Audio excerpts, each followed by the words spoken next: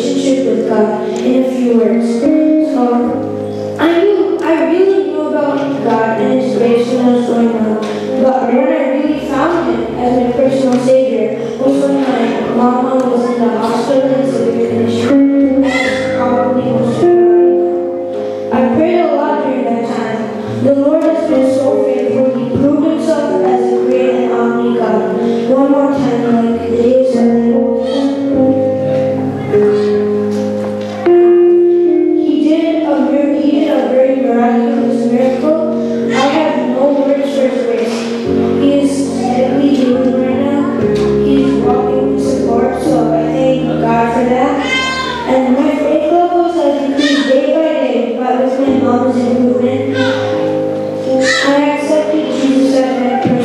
Spirit.